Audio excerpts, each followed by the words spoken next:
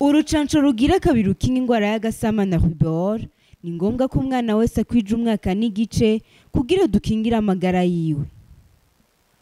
edeni microfinance ni ikigega cyo kuziganya no kuguranana gifise intumbero guteza imbere abenegihugu mu kubaronsa ingurane ku nyungu zitavuna no kubaziganiriza utwabo bikaba bivugwa na chantal ndizeye umukuru w'urwego nyobozi rwa edeni microfinance Eden Microfinance ni ishyirahamwe rijejwe kuziganya no kuguranana ryabayeho kugira ngo rifashe abenegihugu mu kwiteza imbere mu kuzamura ubuzima bw'abenegihugu mu buryo bwo kwiteza imbere tukabashigikira mu migambi yabo no kubaha ingurane ku nyungu itavuna intumbero yacu ni uko twifuza yuko abenegihugu bazamura ubuzima bwabo bagatera imbere kugira ngo bateze imbere n'igihugu muri edeni microfinance dufasha umwenegihugu wese akeneye kwiteza imbere baba ari mu migwi cyangwa mu masosiyasiyo mugabo turashigikiye cyane abenegihugu bakorera mu migwi cyangwa mu mashyirahamwe mu ntumbero yo gufasha no guhimiriza abanywanyi b'icyo kigega batandukanye kuri uno wa kabiri abarongoye icyo kigega barishikiye ku mutumba wa rubira uri muri komine ya mpanda mu ntara ya bubanza bakaba bari bagiye kwirabira ibikorwa bya rimwe mu mashyirahamwe basanzwe bafata mu mugongo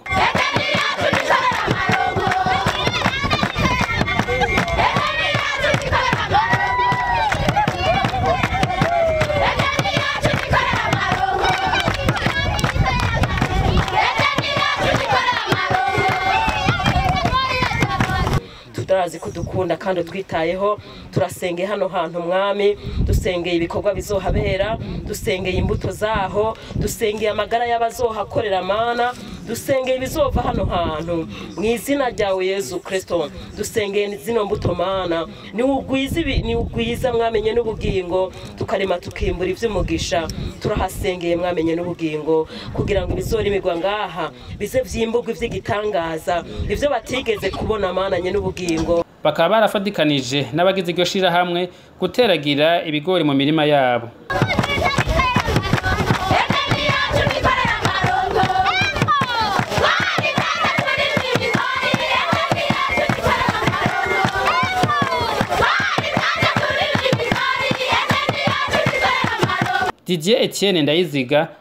ajejwe kumenyekanisha Eden Microfinance akaba avuga uko basanzwe bakorana n'iryo shirahamwe twaje kuraba umugwi witwa dufashanye na Eden Microfinance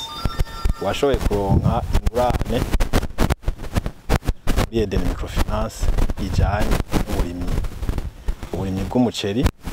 n'uburimyi bw'ibigori nabibonye ko no twateragiye ibigori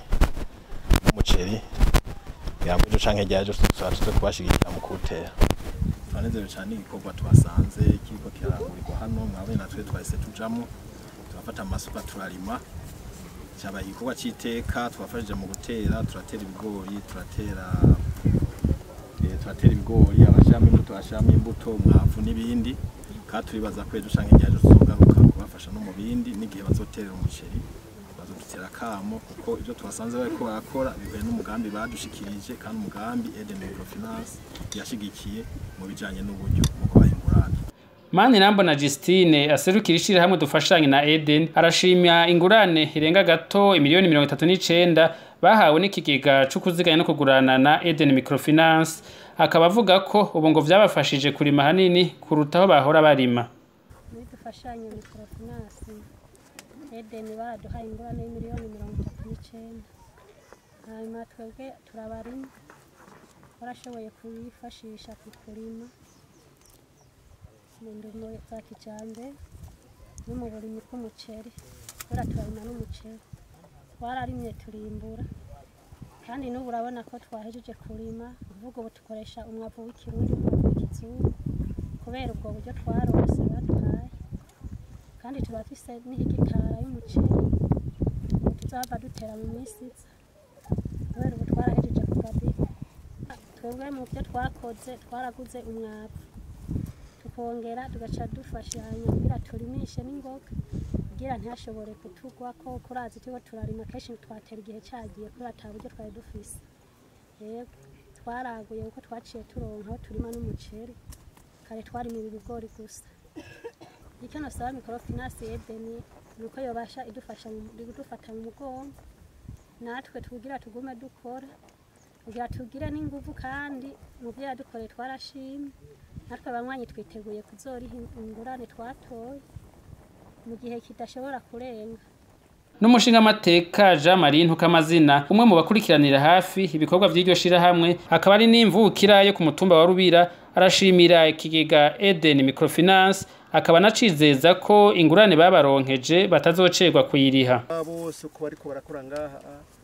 bararima aha umwimbu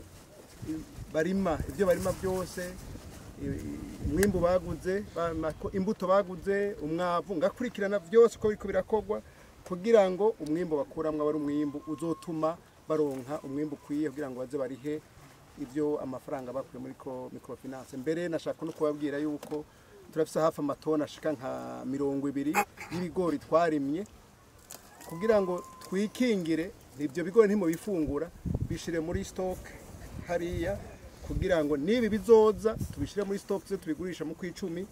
igiciro ubu cagura ikiro kimwe cagura amajana ane ane n'itanu mbwa ico gihe kizoba igihumbi n'amajana abiri igihumbi n'amajana ane murumva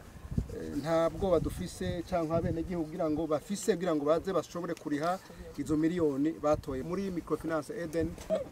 dushaka yuko yirubira uko mwayibonye uno munsi mu myaka itanu mwohagaruka nako muzoza muraza kuturaba aho uko tumeze mwohagaruka musanga izi nzu zose mwabonye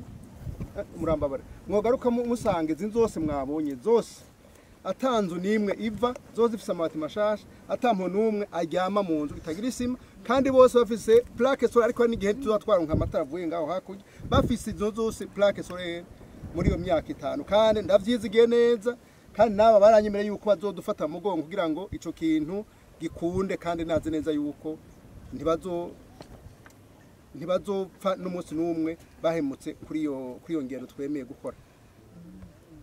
ubusanzwe arongoye urwego nyobozi rw'ikigega Eden Microfinance akaba yarashimishijwe n'ishaka abenegihugu bo ku mutumba wa Rubira bafise ryo kwiteza imbere akaba yaremeye ko ikigega Eden Microfinance kizobaguma hafi hari ikintu twamaze kuvugana na Honorable eh,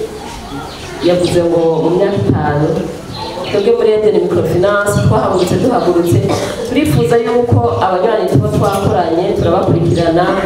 Eh, ku mirimo mu gihe batasishaka twifuza yuko iyo myaka itanu twayivunja mu myaka ibiri mwomenya ko Eden Microfinance rikorera mu gisagara cya Bujumbura